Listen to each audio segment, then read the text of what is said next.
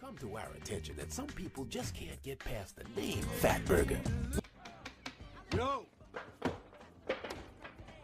Try Fat Burger from now on. You can get yourself a double cheese with fries for $2.95, faggot.